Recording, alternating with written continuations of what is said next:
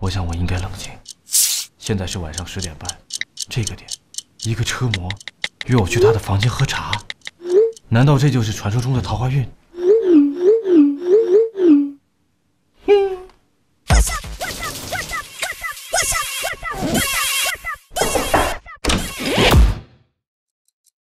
刷屁股的忧伤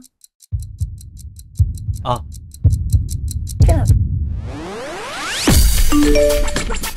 车牌有风险，上床需谨慎啊！哇，我养你啊！你以为我是小钟？多养只。你跟我之前认识的男孩都不太一样。我很贱吗？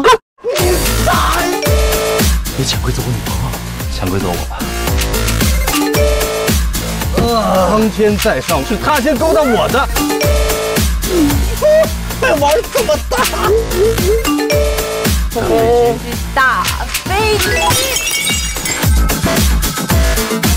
我就是想寻找一份真诚的爱情，